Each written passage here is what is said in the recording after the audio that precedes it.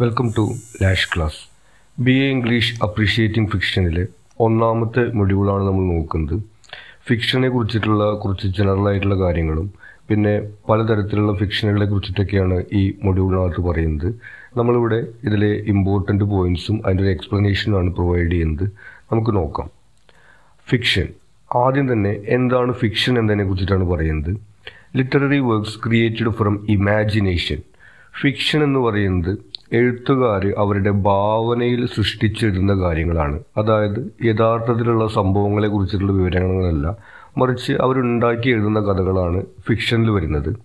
Encompassing various genres. ഇത് പലതരത്തിലുണ്ട്. നമുക്കറിയാം കഥകൾ എന്ന് പറയുന്നത് റൊമാന്റിക് സ്റ്റോറി ആവാം അതല്ലെങ്കിൽ ഒരു ഫാമിലി സ്റ്റോറി ആവാം അതല്ലെങ്കിൽ വേറെ തരത്തിലുള്ള റിവെഞ്ച് സ്റ്റോറി ക്രൈം സ്റ്റോറി അങ്ങനെ പലതരത്തിലുള്ള കഥകളായിട്ട് ഇത് വരാം.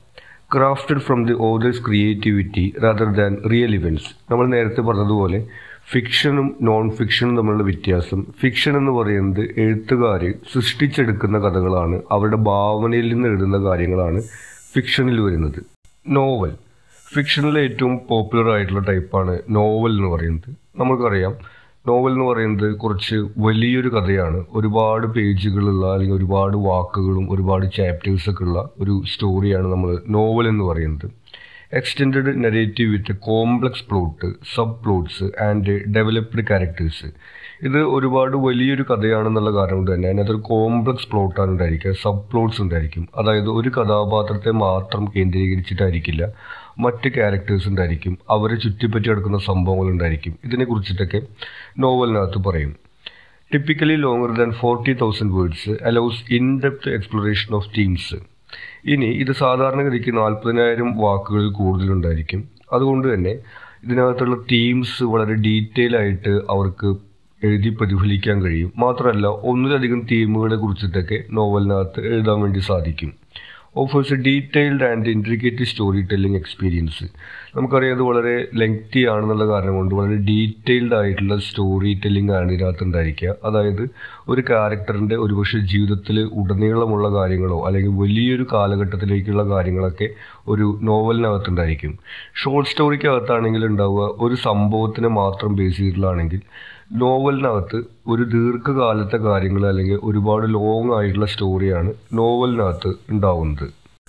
ഷോർട്ട് സ്റ്റോറി പിന്നെ പോപ്പുലർ ആയിട്ടുള്ളത് ഷോർട്ട് സ്റ്റോറിയാണ് brief focused narrative with single theme or plot short story എന്ന് പറയുന്നത് പേര് സൂചിപ്പിക്കുന്ന പോലെ ചെറിയ കഥയാണ്. അതുകൊണ്ട് തന്നെ ചെറിയൊരു തീം അല്ലെങ്കിൽ ചെറിയൊരു പ്ലോട്ട് അതിനകത്ത് ഉണ്ടായിരിക്കുള്ളൂ. ഒരു ക്യാരക്ടറിന്റെ ഒരുപാട് കാലത്തെ കാര്യങ്ങളൊന്നും പറയാൻ വേണ്ടി കഴിയില്ല ഒരു സംഭവത്തിനെ ബേസ് ചെയ്തിട്ടുള്ള ഒരു കഥയൊക്കെ ഉണ്ടായിരിക്കുക. അതിനകത്ത് ചെറിയൊരു തീമും ചെറിയ പ്ലോട്ടാണ് ഷോർട്ട് സ്റ്റോറിക്കകത്ത് ഉണ്ടായിരിക്കുക.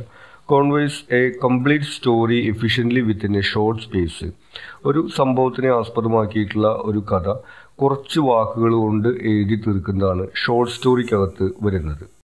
അടുത്തത് നോവല്ല നോവല്ല എന്ന് പറയുന്നത് ഷോർട്ട് സ്റ്റോറിയുടെയും നോവലിന്റെയും ഇടയിൽ നിൽക്കുന്ന ഒരു സംവിധാനമാണ്. Intermediate length fiction longer than a short story but shorter than novel ഒരു ഷോർട്ട് സ്റ്റോറിനേക്കാളും വലുതായിരിക്കും. എന്നാൽ ഒരു നോവലിനേക്കാളും ചെറുതായിരിക്കും ഇതിന്റെ ലെങ്ത് ഉണ്ടായിരിക്കുന്നത്. Allows for more character development and thematic exploration than a short story ഒരു ഷോർട്ട് സ്റ്റോറിനെ അപേക്ഷിച്ചിട്ട് അതിനകത്ത് ക്യാരക്ടർ ഡെവലപ്മെന്റ് ക്യാരക്ടേഴ്സിന്റെ എണ്ണമൊക്കെ കൂടുതലായിട്ട് കൊണ്ടുവരാൻ വേണ്ടി സാധിക്കും. അതുപോലെ തന്നെ തീമും കുറച്ചുകൂടി ഡെവലപ്പ് ചെയ്തുകൊണ്ട് അവതരിപ്പിക്കാൻ വേണ്ടി നോവലിലേക്കകത്ത് സാധിക്കും. Strikes a middle ground between brevity and depth brevity എന്ന് പറയുന്നത് ഷോർട്ട് ആയിട്ടുള്ളതാണ്. അത് ഷോർട്ട് സ്റ്റോറിക്കകത്ത് ഉണ്ടാവുന്നതാണ്. ഡെപ്ത് എന്ന് പറയുന്നത് നോവലിനകത്ത് വരുന്നതാണ്. ഡീറ്റെയിൽ ആയിട്ട് കാര്യങ്ങൾ പറയുന്നതാണ്. ഇതിന്റെ രണ്ടിന്റെ ഒരു ബാലൻസ് ആയിട്ടാണ് നോവലിലാണ് വരുന്നത്. ഇനി ഫിക്ഷനിലെ ഏറ്റവും ഇമ്പോർട്ടന്റ് ആയിട്ടുള്ള എലമെന്റ് എന്ന് പറയുന്നത് പ്ലോട്ടാണ് sequence of events in a story ഒരു കഥയിൽ എന്തൊക്കെയാണ് നടക്കുന്നത് എന്നുള്ളത് മുൻകൂട്ടി തീരുമാനിച്ചു വെച്ചിട്ടുണ്ടായിരിക്കും. അതിനെയാണ് അതിന്റെ പ്ലോട്ട് എന്ന് പറയുന്നത്. Involving conflict resolution and character development ആ സ്റ്റോറിക്കകത്ത് എന്താണ് ഒരു പ്രശ്നമായിട്ട് വരുന്നത്? ആ പ്രശ്നത്തിന് ക്യാരക്ടർ എങ്ങനെയാണ് റിസൊല്യൂട്ട് ചെയ്യുന്നത് അല്ലെങ്കിൽ പരിഹരിക്കുന്നത് തുടങ്ങിയിട്ടുള്ള കാര്യങ്ങളൊക്കെയാണ് പ്ലോട്ടിനകത്ത് വരുന്നത്. കൂടാതെ ക്യാരക്ടർ ഡെവലപ്മെന്റ് ഒക്കെ പ്ലോട്ടിന്റെ ഭാഗമാണ്. Drives the negative forward creating tension and engagement ഒരു കഥ എങ്ങനെയാണ് മുന്നോട്ട് കൊണ്ടുപോവേണ്ടത്? നമുക്ക് ഇമോഷണൽ ആയിട്ട് എന്ത് അനുഭവമാണ് നൽകേണ്ടത് തുടങ്ങിയിട്ടുള്ള കാര്യങ്ങളൊക്കെ പ്ലോട്ടിലാണ് നിശ്ചയിക്കപ്പെടുന്നത്. അടുത്തതായിട്ട് ടൈപ്സ് ഓഫ് ക്യാരക്ടേഴ്സിനെ കുറിച്ചിട്ടാണ് പറയുന്നത്. ഹീറോ ഹീറോ എന്ന് പറഞ്ഞാൽ നമുക്കറിയാം. ഒരു സ്റ്റോറിയിലെ പ്രധാനപ്പെട്ട കഥാപാത്രം ഹീറോ ഉണ്ടായിരിക്കുക. Central character with noble qualities often facing challenges ഇനി ഹീറോ എന്ന് പറയുന്നത് നമുക്ക് ലിറ്ററേച്ചറിനകത്ത് വരുമ്പോൾ അയാൾ കേന്ദ്ര കഥാപാത്രം ആയാൽ മാത്രം പോരാ. അയാൾക്ക് നോബിൾ ക്വാളിറ്റീസ് ഉണ്ടായിരിക്കണം. അതായത് നല്ല ക്യാരക്ടർ ആയിട്ടുള്ള നല്ല ക്വാളിറ്റീസ് ഉള്ള ഒരാളാണ് ഹീറോ എന്ന് പറയുന്നത്. ഇപ്പോൾ നമ്മളൊരു കഥ എഴുതുന്ന സമയത്ത് നമുക്ക് വേണമെങ്കിൽ ഒരു കള്ളനെ കുറിച്ചിട്ടൊരു കഥ എഴുതാൻ പറ്റും. ആ സമയത്ത് കള്ളനായിരിക്കും ആ കഥയിലെ കേന്ദ്ര കഥാപാത്രം ഉണ്ടായിരിക്കുക. ആ സമയത്ത് നമ്മൾ ലിറ്ററേച്ചറിനകത്ത് അയാളെ ഹീറോ എന്നല്ല പറയുന്നത് പ്രൊട്ടഗോണിസ്റ്റ് എന്നാണ് പറയുന്നത്. അതായത് കേന്ദ്ര കഥാപാത്രം എന്നാണ് പറയുന്നത്. ഹീറോ എന്ന് വിളിക്കണമെങ്കിൽ അയാൾ കേന്ദ്ര കഥാപാത്രം ആയാൽ മാത്രം പോരാ. അയാൾ നോബിൾ ക്വാളിറ്റീസ് നല്ല ക്യാരക്ടർ ഉള്ള ആളാണെങ്കിലാണ് നമ്മൾ അയാളെ ഹീറോ എന്ന് പറയുന്നത്. Anti hero protagonist with unconventional or morally ambiguous traits ഇതിന്റെ ഓപ്പോസിറ്റാണ് ആന്റി ഹീറോ ആന്റി ഹീറോ എന്ന് പറയുന്നത് വില്ലനല്ല ഈ കഥയിലെ കേന്ദ്ര കഥാപാത്രം തന്നെയാണ്. പക്ഷേ ഈ ക്യാരക്ടർ ഇങ്ങനെ നോബിൾ ക്യാരക്ടർ ആയിട്ടുള്ള ഒരാളല്ല. അയാൾക്ക് സ്വഭാവത്തിൽ പ്രശ്നങ്ങളുണ്ട്. അയാൾ ഇപ്പോൾ നേരത്തെ പറഞ്ഞ പോലെ ഒരു കള്ളന്റെ കഥ എഴുതുന്ന സമയത്ത് ആന്റി ഹീറോ ആണ് വരുന്നത്. കാരണം കേന്ദ്ര കഥാപാത്രമാണെങ്കിലും അയാളുടെ ക്യാരക്ടറിന്റെ അകത്ത് ഇതുപോലെ കുഴപ്പങ്ങളുണ്ട്. ആ രീതിയിൽ വരുന്ന കേന്ദ്ര കഥാപാത്രമാണ് ആന്റി ഹീറോയിൽ വരുന്നത്. പ്രൊട്ടഗോണിസ്റ്റ്. കേന്ദ്ര കഥാപാത്രത്തിനെയാണ് നമ്മൾ പ്രൊട്ടഗോണിസ്റ്റ് എന്ന് പറയുന്നത്. Main character driving the narrative. ഒരു സ്റ്റോറിയിലെ അല്ലെങ്കിൽ നോവലിലെ ഒരു ഫിക്ഷനകത്തെ പ്രധാനമായിട്ട് വരുന്ന കഥാപാത്രമാണ്. ആ കഥാപാത്രത്തെ ചുറ്റിപ്പറ്റിക്കൊണ്ടായിരിക്കും ആ കഥ മുന്നോട്ട് പോകുന്നത്. അങ്ങനെയുള്ള ക്യാരക്ടറിനെയാണ് നമ്മൾ പ്രൊട്ടഗോണിസ്റ്റ് എന്ന് പറയുന്നത്. നമ്മൾ നേരത്തെ പറഞ്ഞതുപോലെ ആൾ ഹീറോ ആയിക്കോളുന്നില്ല. അയാളുടെ ക്യാരക്ടർ നോക്കിയിട്ടല്ല അയാൾ ഇതുപോലെ കേന്ദ്ര കഥാപാത്രമാണോ എന്ന് നിശ്ചയിക്കുന്നത്. അയാളെ ചുറ്റിപ്പറ്റിയാണ് കഥ മുന്നോട്ട് പോകുന്നുണ്ടെങ്കിൽ അയാളെ നമ്മൾ പ്രൊട്ടഗോണിസ്റ്റ് എന്ന് വിളിക്കും. Antagonist force opposing the protagonist creating conflict antagonist എന്ന് പറയുന്നത് ഏറെക്കുറെ നമ്മൾ ഈ സ്റ്റോറിയിൽ വില്ലൻ എന്ന് പറയുന്ന കഥാപാത്രമാണ്. ഈ പ്രൊട്ടഗോണിസ്റ്റിനെ എതിർക്കുന്ന അയാളുടെ എതിരായിട്ട് വരുന്ന ഒരു ക്യാരക്ടറിനെയാണ് നമ്മൾ ആന്റഗോണിസ്റ്റ് എന്ന് പറയുന്നത്. അടുത്ത character type foil character who straights contrast with protagonist highlighting their qualities foil എന്ന് പറയുന്നത് നമ്മുടെ പ്രൊട്ടഗോണിസ്റ്റിന്റെ ക്യാരക്ടർ ട്രേറ്റിനെ എടുത്തു കാണിക്കാൻ വേണ്ടിയിട്ട് അവിടെ വരുന്ന ഒരു കഥാപാത്രമാണ്. ഇപ്പോൾ ഉദാഹരണത്തിന് ഇപ്പോൾ നമ്മളൊരു സിനിമയുടെ കാര്യം എടുക്കുകയാണെങ്കിൽ സിനിമയിൽ ഈ നായകന്റെ അല്ലെങ്കിൽ നായികയുടെ സുഹൃത്തായിട്ടുള്ള ഒരു ക്യാരക്ടർ ഉണ്ടായിരിക്കും. അയാൾക്ക് ഈ കേന്ദ്ര കഥാപാത്രത്തിന്റെ അത്ര ഒരുപക്ഷെ ഇന്റലിജൻസ് അല്ലെങ്കിൽ ബുദ്ധി ഉണ്ടായിക്കൊള്ളുന്നില്ല. അപ്പോൾ ഈ ക്യാരക്ടർ കൂടെയുള്ള സമയത്ത് നമുക്ക് മെയിൻ ക്യാരക്ടറിന് ബുദ്ധി ഉണ്ടെന്നുള്ളത് എടുത്തു കാണിക്കാൻ വേണ്ടി പറ്റും. അതല്ലെങ്കിൽ ഇപ്പോൾ സൗന്ദര്യമാണ് നമുക്ക് എടുത്തു കാണിക്കേണ്ടതുണ്ടെങ്കിൽ നമുക്ക് മെയിൻ ക്യാരക്ടറിന്റെ കൂടെ അത്ര തന്നെ സൗന്ദര്യം ഇല്ലാത്ത ഒരു ക്യാരക്ടറിനെ ഫോയിലായിട്ട് അവതരിപ്പിച്ച് കഴിഞ്ഞിട്ടുണ്ടെങ്കിൽ ഇയാളുടെ കൂടെ വരുന്ന സമയത്ത് നമ്മുടെ മെയിൻ ക്യാരക്ടറിന്റെ ഈ സൗന്ദര്യം എടുത്തു കാണിക്കപ്പെടും. ആ രീതിയിൽ നമ്മുടെ മെയിൻ ക്യാരക്ടറിന്റെ ക്യാരക്ടർ ട്രേറ്റ്സ് എടുത്തു കാണിക്കുന്നതിന് വേണ്ടിയിട്ട് അയാളുടെ അത്ര തന്നെ ഗുണങ്ങളില്ലാത്ത ഒരു ക്യാരക്ടറിനെ അവതരിപ്പിക്കുന്നതാണ് ഫോയിൽ എന്ന് പറയുന്നത്. Emphasises and enhances character traits of the protagonist നമ്മൾ നേരത്തെ പറഞ്ഞതുപോലെ കേന്ദ്ര കഥാപാത്രത്തിന്റെ ക്യാരക്ടർ ട്രേറ്റ്സ് എടുത്തു കാണിക്കാൻ വേണ്ടിയിട്ട് അയാളുടെ അത്ര ഗുണങ്ങളില്ലാത്ത ഒരു ക്യാരക്ടറിനെ കൂടെ നിർത്തുന്നതാണ് ഫോയിൽ എന്ന് പറയുന്നത്. അടുത്തത് confident character to home the protagonist reveals inner thoughts and feelings ആ പേര് സൂചിപ്പിക്കുന്ന പോലെ തന്നെ നമ്മുടെ പ്രൊട്ടഗോണിസ്റ്റിന്റെ അല്ലെങ്കിൽ കേന്ദ്ര കഥാപാത്രത്തിന്റെ കോൺഫിഡന്റ് ആയിട്ട് വരുന്ന ആൾ അയാളോടാണ് നമ്മുടെ കേന്ദ്ര കഥാപാത്രം അയാളുടെ ഫീലിങ്സും അതുപോലെ തന്നെ തോട്ട്സ് ഒക്കെ ഷെയർ ചെയ്യുന്നത്. അതായത് ഒരു ബെസ്റ്റ് ഫ്രണ്ട് പോലെ പ്രൊട്ടഗോണിസ്റ്റ് കണക്കാക്കുന്ന കഥാപാത്രത്തിനെയാണ് നമ്മൾ കോൺഫിഡന്റ് എന്ന് പറയുന്നത്. ഇനി പ്ലോട്ടുമായി ബന്ധപ്പെട്ടിട്ടുള്ള പ്രധാനപ്പെട്ട ഒരു തിയറിയാണ് ഫ്രൈ ടാക്സ് പിരമിഡ് ഒരു പ്ലോട്ട് എങ്ങനെയാണ് സ്ട്രക്ചർ ചെയ്യുന്നത് എന്നുള്ള കാര്യമാണ് ഇതിനകത്ത് പറയുന്നത്. Dramatic structure with exposition introduction അതായത് തുടക്കത്തിൽ ഈ കഥ നമുക്ക് പറഞ്ഞു തുടങ്ങുന്നു കാര്യങ്ങളൊക്കെ അവതരിപ്പിക്കുന്നു കഥാപാത്രങ്ങളെ കുറിച്ചിട്ടും അതുപോലെ സാഹചര്യങ്ങളൊക്കെ കുറിച്ചിട്ട് അവതരിപ്പിക്കുന്നതാണ് ഇൻട്രൊഡക്ഷനിൽ വരുന്നത്. റൈസിങ് ആക്ഷൻ ഈ കഥയിലെ സംഭവങ്ങൾ ഇങ്ങനെ മുന്നോട്ട് പോകുന്നു. അതിനനുസരിച്ചിട്ട് നമ്മുടെ ഇമോഷണൽ ഇന്റൻസിറ്റി ഇങ്ങനെ കൂടി കൂടി വരുന്നു.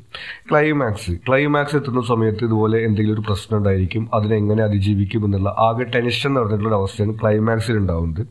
ഫോളിങ് ആക്ഷൻ അതിനൊരു പരിഹാരം കണ്ടെത്തി തുടങ്ങുന്ന സമയത്ത് നമ്മുടെ ഇമോഷണൽ ഇന്റൻസിറ്റി ഇങ്ങനെ പതുക്കെ കുറഞ്ഞു കുറഞ്ഞു വരുന്നു. ആൻഡ് റെസൊല്യൂഷൻ അല്ലെങ്കിൽ ഡിനോമെന്റ് അതായത് അതിനൊരു പരിഹാരം ഉണ്ടായിട്ട് കഥ നല്ല രീതിയിൽ അവസാനിക്കുന്ന സമയത്ത് നമ്മുടെ ഇമോഷണൽ ഇന്റൻസിറ്റി കുറയുന്നു. ഈ രീതിയിൽ ഒരു ട്രയാങ്കിൾ സ്ട്രക്ചറാണ് അല്ലെങ്കിൽ ഒരു പിരമിഡ് പോലെയാണ് ഈ പ്ലോട്ട് ഉണ്ടാവുമെന്നാണ് ഫ്രൈടാക്സ് പിരമിഡിൽ പറയുന്നത്. അതായത് തുടക്കത്തിൽ നമുക്ക് ഇമോഷണൽ ഇന്റൻസിറ്റി കുറവായിരിക്കും ഒരു ഫ്ലാറ്റ് ലൈൻ ആയിരിക്കും ഉണ്ടായിരിക്കുന്നത്. പിന്നീട് അത് കൂടി കൂടി വരും എന്നിട്ട് ക്ലൈമാക്സ് എത്തുന്ന സമയത്ത് അത് അതിന്റെ ഏറ്റവും ഉയർന്ന അവസ്ഥയിലായിരിക്കും ഉണ്ടായിരിക്കുക. പിന്നീട് അവിടുന്ന് കുറഞ്ഞു കുറഞ്ഞു വരുന്ന ഒരു രീതിയിലാണ് ഈ ഒരു കോംപ്ലക്സിറ്റി അല്ലെങ്കിൽ നമ്മുടെ ഇമോഷണൽ ഇന്റൻസിറ്റി ക്രമീകരിക്കേണ്ടതെന്നാണ് ഫ്രൈ ടാക്സ് പിരിമിഡിൽ പറയുന്നത്. Triangle shape representing the flow of the narrative നേരത്തെ പറഞ്ഞതുപോലെ തുടക്കത്തിൽ കുറവ് പിന്നീട് കൂടുതൽ പിന്നീട് വീണ്ടും കുറവ് എന്നുള്ള രീതിയിൽ ഒരു ട്രയാങ്കിൾ ഷേപ്പിലാണിത് വരുന്നത്. ഇനി പറയുന്നത് ക്യാരക്ടർ ടൈപ്സ് ആണ്. അതായത് ക്യാരക്ടറിന്റെ ഡെവലപ്മെന്റുമായി ബന്ധപ്പെട്ടിട്ട് ക്യാരക്ടേഴ്സിനെ തരംതിരിച്ചിരിക്കുന്നതാണ്. ഒന്ന് mimetic realistic relatable characters reflecting human nature mimetic എന്ന് വെച്ചിട്ടുണ്ടെങ്കിൽ കുറേ മിമിക്രി എന്ന് പറയുന്ന പോലെ തന്നെയാണ്. അതായത് ഒരു യഥാർത്ഥത്തിലുള്ള ഒരു മനുഷ്യനെ പോലെ തന്നെയുള്ള ക്യാരക്ടറാണ് മിമിറ്റിക്കിൽ വരുന്നത്. അയാൾക്ക് നല്ല ഗുണങ്ങളുണ്ടായിരിക്കും അതുപോലെ തന്നെ കുറവുകളുണ്ടായിരിക്കും. ഒരു സാധാരണ മനുഷ്യനെ പോലെ അവതരിപ്പിക്കുന്നതാണ് മിമിറ്റിക് എന്ന് പറയുന്നത്. Non mimetic symbolic or abstract characters representing ideas or concepts non mimetic എന്ന് പറയുന്നത് സിംബോളിക് ആണ്. അതായത് നമുക്ക് യഥാർത്ഥ ജീവിതത്തിൽ അങ്ങനത്തെ ഒരു ക്യാരക്ടറിനെ കണ്ടെത്താൻ പ്രയാസമായിരിക്കും. ഇപ്പോൾ ഏതെങ്കിലും ഒരു ഗുണങ്ങൾ അത് കൂടുതലായിട്ട് അത് മാത്രമൊക്കെ അവതരിപ്പിക്കപ്പെടുന്ന രീതിയിൽ നമുക്ക് നിത്യജീവിതത്തിൽ കണ്ടെത്താൻ പ്രയാസമുള്ള ക്യാരക്ടേഴ്സാണ് നോൺ മിമിറ്റിക് എന്ന് പറയുന്നത്. ഇനി ഫ്ലാറ്റും റൗണ്ടും ഫ്ലാറ്റ് എന്ന് പറയുന്നത് one dimensional character lacking complexity flat എന്ന് പറയുന്ന കഥാപാത്രം ഈ കഥ തുടങ്ങി അവസാനം വരെ അയാളുടെ ക്യാരക്ടർ ട്രേറ്റ് ഒരുപോലെ തന്നെയാണ് ഉണ്ടായിരിക്കുക. അതിനകത്ത് പ്രത്യേകിച്ച് മാറ്റങ്ങളൊന്നും ഉണ്ടാവില്ല. റൗണ്ട് എന്ന് പറയുന്നത് multi dimensional characters with depth and development multi ഡയമെൻഷനിലാണ് ഒന്ന് അയാൾക്ക് പല ക്യാരക്ടർ ഉണ്ടായിരിക്കും. നമുക്കറിയാം മനുഷ്യരാകുമ്പോൾ നല്ല ഗുണങ്ങളും മോശം ഗുണങ്ങളൊക്കെ ഉണ്ടായിരിക്കും. ആ രീതിയിലുള്ള കാര്യങ്ങൾക്ക് റൗണ്ടിൽ വരും. കൂടാതെ ഡെവലപ്പ് ചെയ്യപ്പെടും. അതായത് നമ്മളെല്ലാവരും നമുക്കറിയാം നമുക്ക് നാല് കൊല്ലം അഞ്ച് കൊല്ലം മുമ്പത്തെ നമ്മളല്ല ഇപ്പോഴത്തെ നമ്മളുണ്ടാവുക. കാലം കടന്നു പോകുന്നതിനനുസരിച്ചിട്ടും അനുഭവങ്ങൾ ഉണ്ടാകുന്നതിനനുസരിച്ചിട്ടും നമുക്ക് മാറ്റങ്ങൾ ഉണ്ടാവും. അതുപോലെയാണ് റൗണ്ട് ക്യാരക്ടേഴ്സ് ഈ കഥ മുന്നോട്ട് പോകുന്നതിനനുസരിച്ചിട്ട് ക്യാരക്ടറിൽ ഡെവലപ്മെന്റ്സ് ഉണ്ടായിരിക്കും. ആ രീതിയിൽ വരുന്നതാണ് റൗണ്ട് ക്യാരക്ടേഴ്സ് എന്ന് പറയുന്നത്.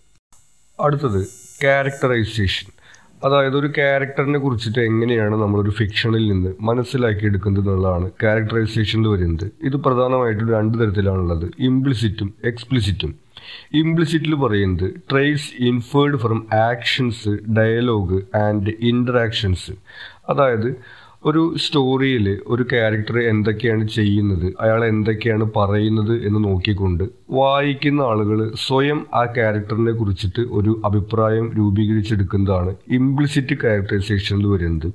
എക്സ്പ്ലിസിറ്റിൽ വരുന്നത് traits directly stated by the narrator or characters narrator അല്ലെങ്കിൽ മറ്റുള്ള ക്യാരക്ടേഴ്സ് ഈ ഒരു ക്യാരക്ടർ ഇങ്ങനെയാണെന്ന് ഡയറക്റ്റ് ആയിട്ട് പറയുന്നതാണ് എക്സ്പ്ലിസിറ്റിൽ വരുന്നത്. ഉദാഹരണത്തിന് ചില കഥകളിലൊക്കെ നമ്മൾ കാണുന്നതാണ്.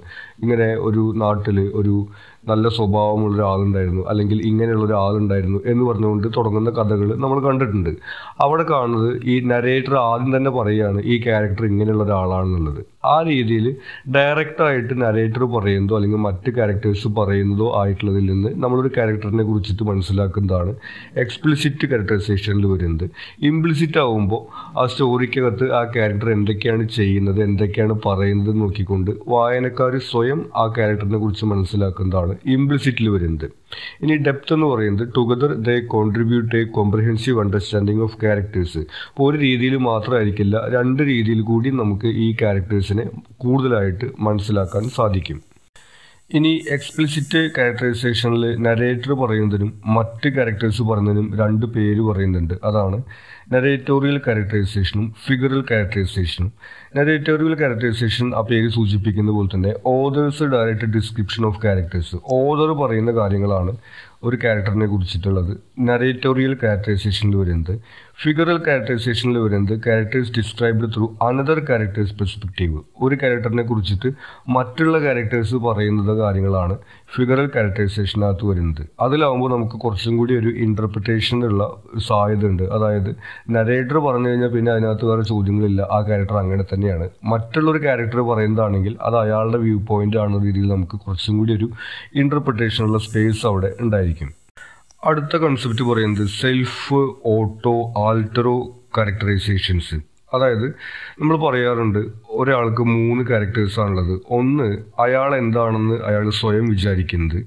മറ്റൊന്ന് അയാൾ എന്താണെന്ന് മറ്റുള്ളവർ വിചാരിക്കുന്നത്. ഇനി മൂന്നാമത്തതാണ് അയാൾ യഥാർത്ഥത്തിൽ എന്താണെന്നുള്ള ക്യാരക്ടർ എന്നുള്ളതാണ് ഒരു കൺസെപ്റ്റ് അതാണ് ഈ സെൽഫ് ഓട്ടോ ആൾട്ടറോ ക്യാരക്ടറൈസേഷൻസിൽ വരുന്നത്. Character's self perception how others perceive them and their true nature and layers to character's dynamics and understanding explores the gap between perception and reality അപ്പോൾ അതിനകത്ത് ഒരു ക്യാരക്ടർ അയാളെ കുറിച്ച് സ്വയം പറയുന്നുണ്ടായിരിക്കും. മറ്റുള്ള ക്യാരക്ടേഴ്സ് അയാളെ കുറിച്ച് പറയുന്നുണ്ടായിരിക്കും. നമ്മൾ മനസ്സിലാക്കി എടുക്കുന്ന കാര്യങ്ങളുണ്ടായിരിക്കും ഈ രീതിയിൽ ഒരു ഡെപ്ത് ആയിട്ട് നമുക്ക് ഒരു ക്യാരക്ടറിനെ കുറിച്ചിട്ട് മനസ്സിലാക്കാൻ വേണ്ടി സാധിക്കും. അടുത്തതായിട്ട് ഫിക്ഷനിൽ പ്രധാനമായിട്ട് വരുന്ന കൺസെപ്റ്റ് അറ്റ്മോസ്ഫിയർ ആണ്. അറ്റ്മോസ്ഫിയർ എന്ന് പറഞ്ഞു കഴിഞ്ഞാൽ നമുക്കറിയാം. അതിന്റെ ഒരു സെറ്റിങ്സിനെയാണ് അവിടെ ഉദ്ദേശിക്കുന്നത്. Time and place of the story influencing mood അതായത് ഏത് കാലഘട്ടത്തിലാണ് കഥ നടക്കുന്നത്? ഇപ്പോൾ പണ്ട് നടന്ന കഥയായിരിക്കാം. അതല്ലെങ്കിൽ ഇപ്പോൾ നടക്കുന്ന കഥയായിരിക്കാം. അതല്ലെങ്കിൽ ഇനി ഒരു സയൻസ് ഫിക്ഷനൊക്കെ ആണെങ്കിൽ വരാൻ പോകുന്ന കാലത്തെ കഥയായിരിക്കാം. അതല്ലെങ്കിൽ പിന്നെ എവിടെയാണ് കഥ നടക്കുന്നത്? ഇപ്പോൾ കേരളത്തിലാണോ? അല്ലെങ്കിൽ വേറെ ഏതെങ്കിലും നാട്ടിലാണോ? വിദേശത്താണോ? തുടങ്ങിയിട്ടുള്ള രീതിയിൽ എവിടെയാണ് ഏത് കാലഘട്ടത്തിലാണ് ഈ കഥ നടക്കുന്നത് എന്നുള്ള കാര്യമൊക്കെയാണ് സെറ്റിങ്സിനകത്ത് വരുന്നത്. Attitude emotional tone created by the author ഇനി ഈ ഓതർ ഈ കഥ പറയുന്നത് ഏത് ഇമോഷനിലൂടെയാണ് എന്നുള്ളതാണ് ഈ ആറ്റിറ്റ്യൂഡിനകത്ത് വരുന്നത്. അത് ഓരോ കഥയ്ക്കകത്തും വ്യത്യസ്തമായിരിക്കും. നമുക്കറിയാം റൊമാന്റിക് സ്റ്റോറി പോലെ ആയിരിക്കില്ല ക്രൈം സ്റ്റോറി ഉണ്ടാവുന്നത്. ആ രീതിയിലുള്ള കാര്യങ്ങളാണ് അതിനകത്ത് വരുന്നത്. Descriptions detailed portrayal of the environment enhancing reader emotion descriptions നമുക്കറിയാം ഈ ഫിക്ഷനകത്ത് പ്രധാനമായിട്ടുള്ള ഒന്നാണ്. അതായത് ഈ സെറ്റിങ്സിനെ കുറിച്ചിട്ട് ഇങ്ങനെ വിശദമായിട്ട് എഴുതിയിട്ടുണ്ടായിരിക്കും. ക്യാരക്ടറിന്റെ രൂപത്തെക്കുറിച്ച് അവരുടെ വസ്ത്രധാരണത്തെ കുറിച്ചിട്ട് അങ്ങനെയുള്ള ഡിസ്ക്രിപ്ഷൻസ് ഒക്കെ ഒരുപാട് അതിനകത്ത് ഉണ്ടായിരിക്കും. Immersive experience sets stage for reader engagement അങ്ങനെ ഇതെല്ലാം കൂട്ടിക്കൊണ്ടാണ് നമുക്ക് ആ കഥയിലേക്ക് ഉള്ളൊരു സെറ്റിങ്സ് അല്ലെങ്കിൽ ഒരു സ്റ്റേജ് ക്രിയേറ്റ് ചെയ്യുന്നത്. അതായത് എവിടെ വെച്ചിട്ടാണ് ഏത് കാലത്താണ് കഥ നടക്കുന്നത് അതുപോലെ തന്നെ ആ ക്യാരക്ടേഴ്സിനെ കുറിച്ചും ചുറ്റുപാടിനെ കുറിച്ചും ഡിസ്ക്രിപ്ഷൻസ് ഒക്കെ വെച്ചുകൊണ്ടാണ് ഈ ഒരു അറ്റ്മോസ്ഫിയർ ഈ ഫിക്ഷനകത്ത് ക്രിയേറ്റ് ചെയ്യുന്നത്. അടുത്തത് പോയിന്റ് ഓഫ് വ്യൂ ഏത് രീതിയിലാണ് കഥ പറയുന്നത് എന്നുള്ളതാണ് പോയിന്റ് ഓഫ് വ്യൂക്കകത്ത് വരുന്നത്. പ്രധാനമായിട്ടും മൂന്ന് രീതികളാണുള്ളത്. ഒന്ന് first person narrator as a character providing a personal perspective first person narration എന്ന് പറഞ്ഞു വെച്ചിട്ടുണ്ടെങ്കിൽ ഈ കഥയിലെ ഒരു കഥാപാത്രം തന്നെയാണ് ഈ കഥ പറയുന്നുണ്ടായിരിക്കുക. അയാളുടെ ഒരു പെർസ്പെക്റ്റീവിലൂടെ അയാളുടെ കഥ അല്ലെങ്കിൽ അയാളുടെ അനുഭവം അയാൾ കണ്ട കാര്യങ്ങൾ എന്നുള്ള രീതിയിൽ ഒരു കഥ പറയുന്നതാണ് ഫസ്റ്റ് പേഴ്സൺ നരേഷനിൽ വരുന്നത്. Second person narrator addresses the reader directly creating immediacy second പേഴ്സണും ഫസ്റ്റ് പേഴ്സണും ഏറെക്കുറെ സിമിലർ ആണ്. അതിലൊരു ക്യാരക്ടർ തന്നെയാണ് കഥ പറയുന്നത്. എന്താണ് വ്യത്യാസം എന്ന് പറഞ്ഞിട്ടുണ്ടെങ്കിൽ ഈ സെക്കൻഡ് പേഴ്സൺ നരേഷനിൽ വായിക്കുന്ന ആളുകളെ ഇടയ്ക്കിടയ്ക്ക് ഈ നരേറ്റർ അഡ്രസ്സ് ചെയ്യും. ഇപ്പോൾ കഥ പറഞ്ഞുകൊണ്ടിരിക്കുന്നതിനിടയിൽ ചിലപ്പോൾ റീഡേഴ്സിന്റെ അടുത്ത് ചോദിക്കും ആ നിങ്ങൾക്ക് ഇപ്പോൾ എന്താണ് തോന്നുന്നത്? അല്ലെങ്കിൽ ഞാൻ എന്ത് ചെയ്യും എന്നാണ് നിങ്ങൾ കരുതുന്നത്? എന്നുള്ള രീതിയിലൊക്കെ ഈ റീഡേഴ്സിനോട് ഇടയ്ക്കിടയ്ക്ക് ഇൻട്രാക്ട് ചെയ്തുകൊണ്ടിരിക്കുന്ന ഒരു സംവിധാനമാണ് സെക്കൻഡ് പേഴ്സൺ നരേഷനകത്ത് വരുന്നത്. Third person external narrator observing characters third person വളരെ വ്യാപകമായിട്ട് ഉപയോഗിക്കപ്പെടുന്ന ഒന്നാണ്. അതായത് ഈ ക്യാരക്ടർ കഥയിൽ ഇല്ലാത്ത ഒരാളായിരിക്കും നരേറ്റർ ഉണ്ടായിരിക്കുക. അതായത് ഒരാൾ നമ്മളോട് ഒരു കഥ പറയുന്നു അയാൾ ആ കഥയിലില്ല. പക്ഷെ ആ കഥയിൽ എല്ലാ കാര്യങ്ങളും അയാൾക്ക് അറിയാം എന്നുള്ളതാണ് തേർഡ് പേഴ്സൺ നരേഷനിൽ വരുന്നത്. Can be omniscient or limited ഇത് രണ്ട് രീതിയിൽ വരാം. ഒംനിസിയന്റ് എന്ന് വെച്ചിട്ടുണ്ടെങ്കിൽ ഈ കഥയിലെ കഥാപാത്രങ്ങളുടെ മനസ്സിലേക്കും അവരുടെ ചിന്തകളിലേക്കൊക്കെ കടക്കാൻ വേണ്ടി നരേറ്റർക്ക് കഴിയും. അതായത് ഒരു ക്യാരക്ടർ എന്താണ് ചിന്തിക്കുന്നത് എന്താണ് അയാളുടെ ഫീലിങ്സ് തുടങ്ങിയിട്ടുള്ള കാര്യങ്ങളൊക്കെ ഈ കഥയിൽ എഴുതിയിട്ടുണ്ടെങ്കിൽ അത് ഒംനീസിയന്റ് ആണ്. കാരണം അതൊക്കെ നരേറ്റർക്ക് അറിയാം. ഇനി ലിമിറ്റഡ് ആവുന്ന സമയത്ത് കഥ മാത്രമേ അയാൾക്ക് അറിയുള്ളൂ. ക്യാരക്ടേഴ്സ് എന്താണ് ചിന്തിക്കുന്നത് എന്താണ് ഫീലിങ്സ് എന്നുള്ളത് അയാൾക്ക് അറിയാത്ത രീതിയിലാണ് ഈ ലിമിറ്റഡ് വേർഷനിൽ വരുന്നത്. അപ്പോൾ നമുക്ക് മൂന്നെണ്ണമാണുള്ളത് ഒന്ന് ഫസ്റ്റ് പേഴ്സൺ ഒരു ക്യാരക്ടർ തന്നെ കഥ പറയുന്നതാണ് ഫസ്റ്റ് പേഴ്സണിൽ വരുന്നത്.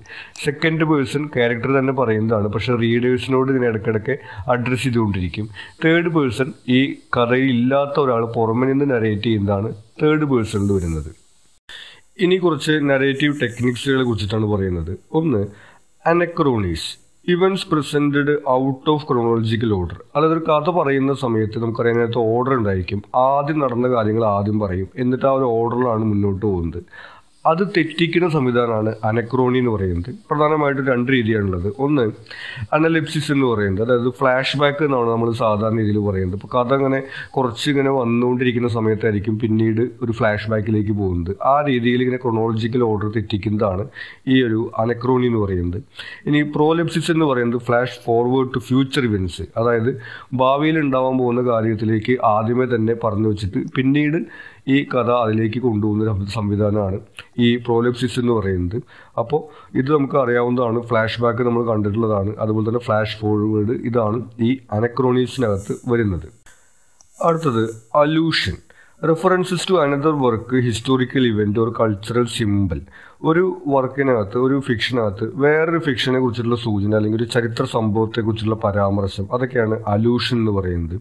ഇനി symbol object or element representing an idea or concept symbolization നമുക്കറിയാം. ഒരു ഒബ്ജക്റ്റ് ഒരു വസ്തുവിനെ അല്ലെങ്കിൽ ഇപ്പോൾ നമ്മൾ നേരത്തെ പറയുന്ന പോലെ വെളിച്ചം അല്ലെങ്കിൽ ഇരുട്ട് അതിനൊക്കെ ഒരു സിമ്പിളായിട്ട് കഥയിൽ അവതരിപ്പിക്കുന്നതാണ് സിമ്പിളിനകത്ത് വരുന്നത്. ഐറണി എന്ന് പറയുന്നത് discrepancy between expectation and reality നമ്മുടെ പ്രതീക്ഷയും യാഥാർത്ഥ്യവും തമ്മിലുള്ള വൈരുദ്ധ്യമാണ് ഐറണി എന്ന് പറയുന്നത്. അതായത് നമ്മൾ പ്രതീക്ഷിക്കാത്ത സംഭവം ഉണ്ടാവുക. അതൊക്കെയാണ് ഐറണിക്കകത്ത് വരുന്നത്. ഇനി ഡ്യൂസ് എക്സ് മിഷിന എന്ന് പറയുന്നത് sudden unexpected resolution to its plot നമ്മൾ പ്രതീക്ഷിക്കാത്ത രീതിയിൽ ഒരു ക്ലൈമാക്സ് ഉണ്ടാവുന്നതാണ് ഈ ഡ്യൂസ് എക്സ് മിഷിന എന്ന് പറയുന്നത്. അതായത് ഏറെക്കുറെ അസ്വാഭാവികമായിട്ട് തോന്നാം. അപ്പോൾ നമ്മൾ നോക്കുന്ന സമയത്ത് ഒരു ക്യാരക്ടർ ഇങ്ങനെ വളരെ സാമ്പത്തിക പ്രയാസത്തിൽ ഇങ്ങനെ ഇരുന്നുകൊണ്ട് ഇങ്ങനെ അതെങ്ങനെ സർവൈവ് ചെയ്യും എന്നുള്ളതാണ് ആ കഥയുടെ ക്ലൈമാക്സിലേക്ക് പോകുന്നതെങ്കിൽ ഇപ്പോൾ പെട്ടെന്ന് ആൾക്കൊരു ലോട്ടറി അടിച്ചു എന്ന് പറഞ്ഞിട്ട് കഥ അവസാനിപ്പിച്ച് എങ്ങനെ ഉണ്ടായിരിക്കും?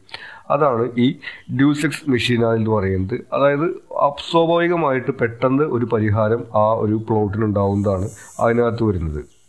Epigraph quote at the beginning of a work setting the tone ഒരു സ്റ്റോറിയുടെ അല്ലെങ്കിൽ ഒരു നോവലിന്റെ തുടക്കത്തിൽ ഒരു കോട്ട് എഴുതിക്കൊണ്ട് അതിൽ നിന്ന് സ്റ്റോറി ആരംഭിക്കുന്ന സംവിധാനമാണ് ഈ എപ്പിഗ്രാഫ് എന്ന് പറയുന്നത്. ആ സ്റ്റോറിയുടെ ടോൺ എന്താണെന്നുള്ളത് നമുക്ക് ആ കോട്ടിൽ നിന്ന് മനസ്സിലാക്കാൻ വേണ്ടി സാധിക്കും. അടുത്തത് epiphany sudden realization or revelation by a character ഒരു ക്യാരക്ടറിന് പെട്ടെന്ന് ഒരു അറിവ് ഉണ്ടാവുക അല്ലെങ്കിൽ ഒരു തിരിച്ചറിവ് വെളിപാടുണ്ടാവുന്ന സംവിധാനമാണ് എപ്പിഫാനി എന്ന് പറയുന്നത്.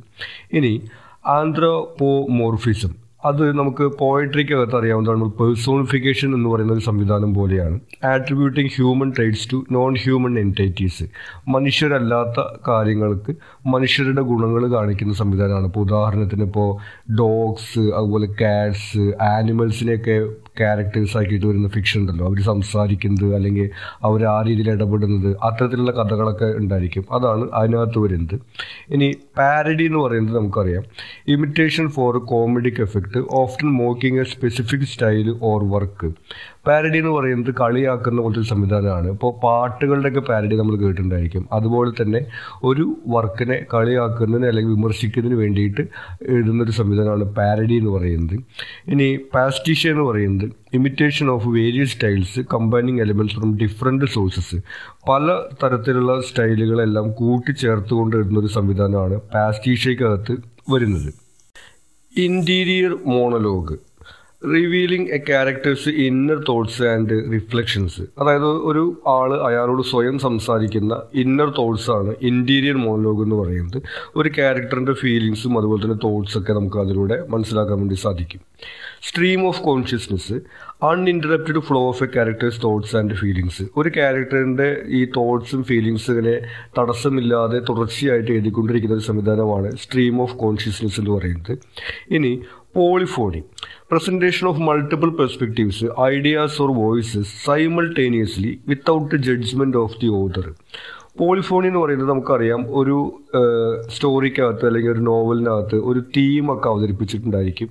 ആ രീതിയിലാണ് അത് മുന്നോട്ട് പോകുന്നത്. പോളിഫോണിയിൽ വരുമ്പോൾ ഒരു ടീമിനെ കുറിച്ചിട്ടുള്ള പല അഭിപ്രായങ്ങൾ അതിനകത്ത് വന്നിട്ടുണ്ടായിരിക്കും. എന്നാൽ ഓദർ ഏത് അഭിപ്രായത്തോടാണ് യോജിക്കുന്നതെന്നോ അല്ലെങ്കിൽ ഏതാണ് ശരിയെന്ന് കരുതുന്നതെന്നുള്ള കാര്യം അതിനകത്ത് പറഞ്ഞിട്ടുണ്ടായിരിക്കില്ല. ഇപ്പോൾ ഒരു ഉദാഹരണം പറയുകയാണെങ്കിൽ നമ്മുടെ ദസ്തവിസ്കിയുടെ ബ്രദേഴ്സ് കാരമസോ എന്ന് പറയുന്ന ഒരു നോവലിനകത്ത് ദൈവം ഉണ്ടോ ദൈവം ഇല്ലയോ എന്നതിനെ കുറിച്ചിട്ട് രണ്ട് സഹോദരന്മാർ നടത്തുന്ന ഒരു സംഭാഷണമുണ്ട്. വളരെ നല്ലൊരു ഭാഗമാണ് നോവലിനകത്ത്? പക്ഷെ ഇതിൽ ഈ ഓദർ ഇതിൽ ഏത് ഭാഗത്തോടാണ് യോജിക്കുന്നത് എന്ന് പറയാതെ ഒരു ഭാഗം കുറച്ച് കാണിക്കാതെ രണ്ട് ഭാഗത്തിനും ഈക്വൽ ഇമ്പോർട്ടൻസ് കൊടുക്കുന്ന രീതിയിലാണ് അത് അവതരിപ്പിച്ചിട്ടുള്ളത്. ആ രീതിയിൽ ഏതെങ്കിലും ഒരു ആശയത്തോട് അല്ലെങ്കിൽ ഒരു പെർസ്പെക്റ്റീവിനോട് പ്രത്യേകിച്ചിട്ടൊരു താല്പര്യം കാണിക്കാതെ പല ആശയങ്ങൾ അവതരിപ്പിക്കുന്ന സംവിധാനമാണ് പോളിഫോണി എന്ന് പറയുന്നത്.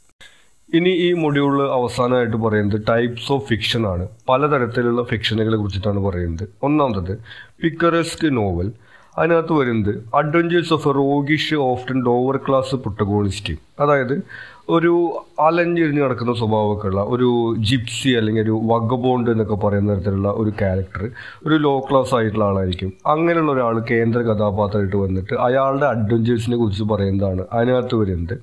ഇതിന്റെ സ്ട്രക്ചർ എന്ന് പറയുന്നത് series of loosely connected episodes as a protagonist wanders from place to place ഈ കഥാപാത്രം ഒരു സ്ഥലത്ത് നിന്ന് വേറെ സ്ഥലത്തേക്ക് പോകുന്നു. അപ്പോൾ ഒരു സ്ഥലത്ത് കുറെ ആളുകളെ കാണുന്നു. അടുത്ത സ്ഥലത്ത് പോകുമ്പോൾ ആദ്യം കണ്ട ക്യാരക്ടേഴ്സ് അല്ല പിന്നെ വേറെ ക്യാരക്ടേഴ്സ് ആണ് അവിടെയുള്ള ആൾക്കാരാണ്. അങ്ങനെയൊക്കെയാണ് അതിന്റെ ഒരു സ്ട്രക്ചർ വരുന്നത്.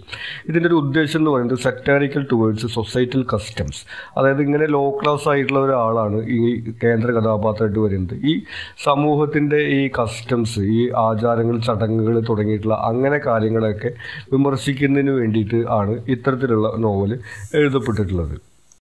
അടുത്തത് എപ്പിസ്റ്റോളറി നോവൽസ് ഇതിനകത്ത് വരുന്നത് told through letters diary entries or documents അതായത് ഒരാളുടെ ഡയറി നമ്മൾ വായിച്ചു കഴിഞ്ഞാൽ അയാളുടെ കഥ മനസ്സിലാക്കാൻ പറ്റുമല്ലോ. ആ രീതിയിൽ എഴുതപ്പെടുന്ന നോവൽ അല്ലെങ്കിൽ ചില ആളുകൾ പരസ്പരം എഴുതിയിട്ടുള്ള കത്തുകളുടെ രൂപത്തിൽ ഒരു നോവൽ ഉണ്ടാവുകയാണെങ്കിൽ ഇതൊക്കെയാണ് നമുക്ക് ഈ എപ്പിസ്റ്റലറി നോവലിനകത്ത് വരുന്നത്.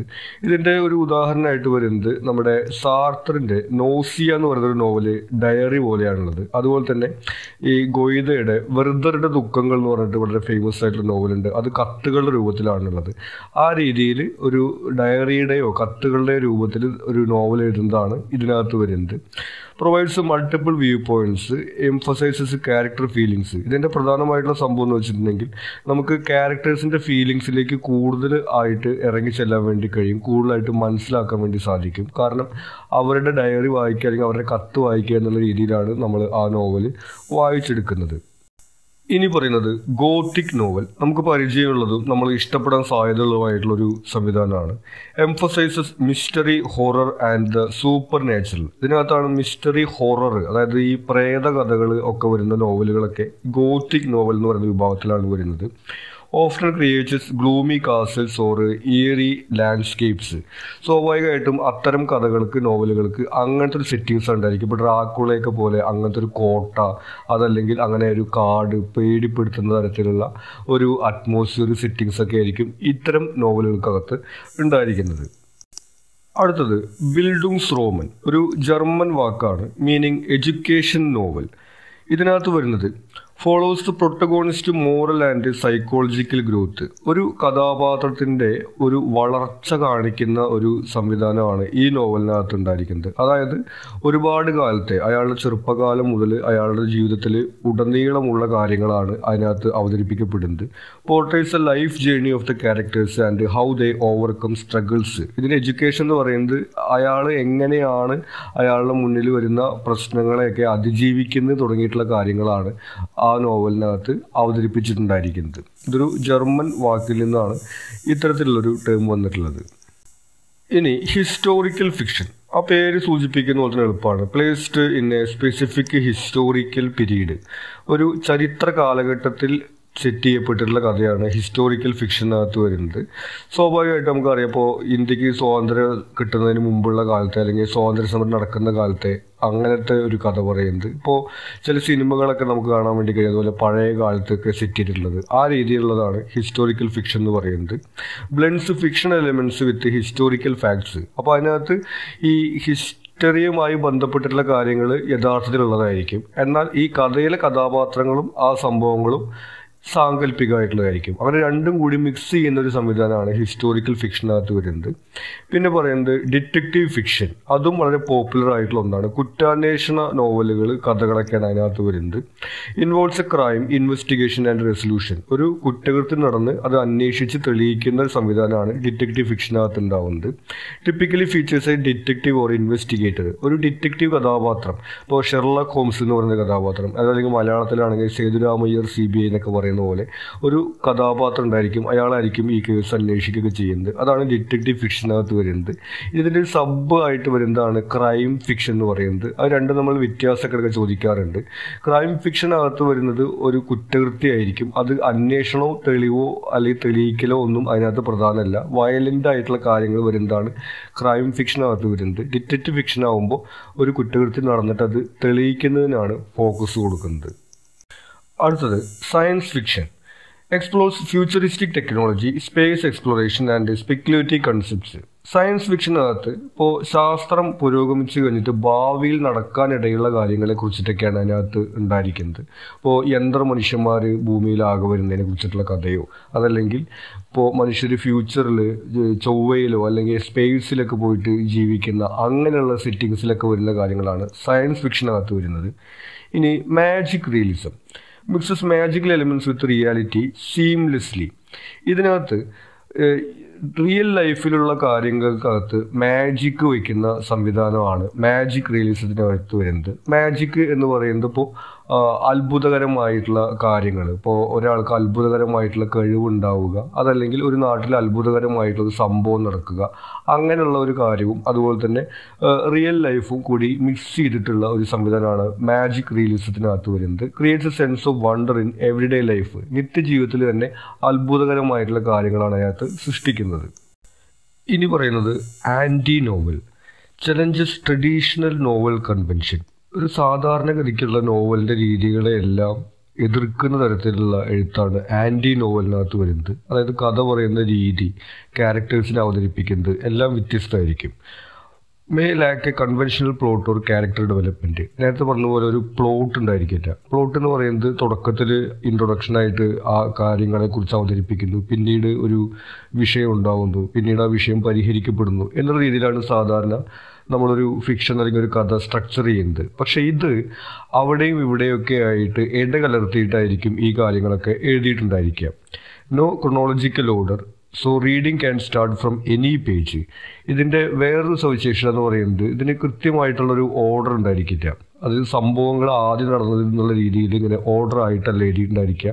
ഏത് പേജിൽ നിന്ന് വേണമെങ്കിലും എഴുതി തുടങ്ങാം അല്ലെങ്കിൽ വായിച്ചു തുടങ്ങാൻ വേണ്ടി സാധിക്കും. ഒരു ഉദാഹരണം പറയുകയാണെങ്കിൽ മലയാളത്തിൽ അടുത്ത കാലത്ത് പുറത്തിറങ്ങിയിട്ടുള്ള തരകൻസ് ഗ്രന്ഥവലി എന്ന് പറയുന്നത് ഇതിനൊരു ഉദാഹരണമാണ്. ആ പുസ്തകത്തിനകത്ത് പേജ് നമ്പർ പോലും ഇല്ലാതെയാണ് നോവൽ ഇറക്കിയിട്ടുള്ളത്. അതായത് എവിടുന്ന് വേണമെങ്കിലും വായിച്ചു തുടങ്ങാം. ഏത് പേജ് വേണമെങ്കിലും ആദ്യം വായിക്കാം അവസാനം വായിക്കാം എന്നുള്ള രീതിയിലാണ്. അതായത് ഇത് എല്ലാം വായിച്ചുകൊണ്ട് ആ തന്നിരിക്കുന്ന വിവരങ്ങളെല്ലാം കൂട്ടിച്ചേർത്തുകൊണ്ട് എന്താണ് അവിടെ നടന്ന കഥ എന്താണ് ആ ക്യാരക്ടർ എന്നുള്ളത് വായനക്കാർ മനസ്സിലാക്കിയെടുക്കുന്ന രീതിയാണ് ആന്റി നോവലിനകത്തുള്ളത്.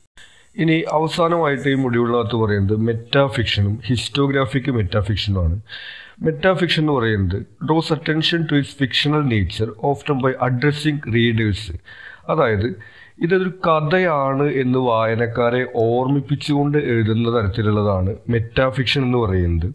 അതായത് സാധാരണഗതിക്ക് നമ്മളൊരു കഥ വായിക്കുമ്പോൾ അല്ലെങ്കിൽ സിനിമ കാണുമ്പോഴോ നമ്മളതൊരു കഥയാണ് എന്ന് അറിയാത്ത രീതിയിൽ നമ്മൾ അതിനകത്ത് ലയിച്ചിരിക്കുന്ന സംവിധാനമാണെങ്കിൽ ഇതിനകത്ത് ഓദർ ഇടയ്ക്കിടയ്ക്ക് നമ്മളെ ഓർമ്മിപ്പിച്ചുകൊണ്ടിരിക്കും. ഇത് കഥാപാത്രങ്ങളാണ് ഇത് കഥയാണ് അവർ കഥ എഴുതുന്നതിനെ കുറിച്ച് അതിനകത്ത് പറഞ്ഞുകൊണ്ടിരിക്കും. ആ രീതിയിലാണ് മെറ്റാഫിക്ഷൻ വരുന്നത്. Characters may be aware of being in a story. നമ്മൾ നേരത്തെ പറഞ്ഞതുപോലെ ഈ കഥാപാത്രങ്ങൾ അവരുടെ കഥയിലാണ് എന്ന് അവർക്ക് അറിയുന്ന തരത്തിലായിരിക്കും ആ കഥ അവതരിപ്പിച്ചിട്ടുണ്ടായിരിക്കാം. ഇനി ഹിസ്റ്റോറിയോഗ്രാഫിക് മെറ്റാഫിക്ഷൻ എന്ന് പറയുന്നത് ഈ മെറ്റാഫിക്ഷനും ഹിസ്റ്ററിയും കൂടി ബ്ലെൻഡ് ചെയ്തിട്ടുള്ളതാണ്. അതായത് ഈ ഹിസ്റ്ററിയിലുള്ള ബാക്ക്ഗ്രൗണ്ടിൽ ഒരു സെറ്റിങ്സിലാണ് കഥ നടക്കുന്നുണ്ടായിരിക്കുക. എന്നാൽ ഈ കഥാപാത്രങ്ങൾ ഒരു കെട്ടുകഥയിലെ ആളുകളാണെന്നുള്ളത് നമ്മളെ ഓർമ്മിപ്പിച്ചുകൊണ്ടിരിക്കും. അത് യഥാർത്ഥ ഹിസ്റ്ററി അല്ല അല്ലെങ്കിൽ യഥാർത്ഥ സംഭവം അല്ല എന്ന് നമ്മളോട് ഓർമ്മിപ്പിച്ചുകൊണ്ടാണ് ഈ കഥ മുന്നോട്ട് പോകുന്നത്. Critically examines historical narratives highlights history itself is a narrative അതിന്റെ ഉദ്ദേശം എന്ന് പറയുന്നത് ചരിത്രം എന്ന് പറയുന്നത് തന്നെ നമുക്ക് വ്യക്തമായിട്ട് ധാരണയുള്ളതല്ല. ഇതുപോലെ ഓരോരുത്തരുടെ വ്യാഖ്യാനങ്ങൾ മാത്രമാണ് ചരിത്രം എന്നുള്ളതാണ് അത് ഓർമ്മിപ്പിക്കാൻ വേണ്ടി ശ്രമിക്കുന്നത്. ആ രീതിയിൽ ഇതെല്ലാം ഈ കഥയും കഥാപാത്രങ്ങളുമാണെന്ന് നമ്മളെ ഓർമ്മിപ്പിച്ചുകൊണ്ടിരിക്കുന്ന അതായത് കഥാപാത്രങ്ങൾ തന്നെയും നരേറ്റർ തന്നെയും അത് നമ്മളോട് പറഞ്ഞുകൊണ്ടിരിക്കുന്ന ഒരു രീതിയിലായിരിക്കും ഇതിനകത്തുള്ള എഴുത്ത് ഉണ്ടായിരിക്കുന്നത്. ഇത്രയും കാര്യങ്ങളാണ് നമുക്ക് ഈ മൊഡ്യൂളിനകത്ത് ഇമ്പോർട്ടന്റ് ആയിട്ട് വരുന്നത്. ഇനി ഇതിലെ നോട്ട്സ് ഷോർട്ട് ക്വസ്റ്റ്യൻസ് പാരഗ്രാഫ് അതുപോലെ തന്നെ എസ് എ ക്വസ്റ്റ്യൻസിന്റെ നോട്ട്സിന്റെ ഒരു വീഡിയോ സെപ്പറേറ്റ് ആയിട്ട് നമ്മൾ ചെയ്യുന്നുണ്ട്. അപ്പോൾ ഈ പോയിന്റ്സിൽ നിങ്ങൾക്ക് എന്തെങ്കിലും സംശയങ്ങളോ സജഷൻസോ ഉണ്ടെങ്കിൽ നിങ്ങൾ കമന്റ് ചെയ്യുക. കൂടാതെ ഈ ചാനൽ നിങ്ങളിതൊരു സബ്സ്ക്രൈബ് ചെയ്തിട്ടില്ലെങ്കിൽ സബ്സ്ക്രൈബ് ചെയ്യുക. താങ്ക്